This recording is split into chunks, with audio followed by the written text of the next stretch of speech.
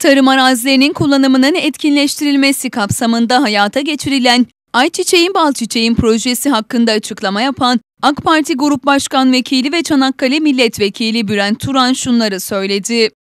Çanakkale'miz kadim tarihiyle, doğal güzellikleriyle, özellikle tarımıyla çok özel bir kent. İlçemizde tarım ve hayvancılık alanında son yıllarda 50'ye yakın proje hayata geçti. Son olarak uygulanmaya konan Ayçiçeğin Balçiçeğin projesi kapsamında Lapseki, Biga, Çan, Bayramiç, Ezine, Merkez, Eceabat ve Gelibolu ilçelerimizde %50 hibeli ayçiçeği tohumu dağıtımı yapıldı. 1 milyon lirası hibe olmak üzere toplamda 2 milyon lira proje bedeline sahip 502 çiftçimizin faydalandığı bu proje kapsamında 32 bin dönüm gibi devasa büyüklükteki bir alana ayçiçeği ekimi yapılacak.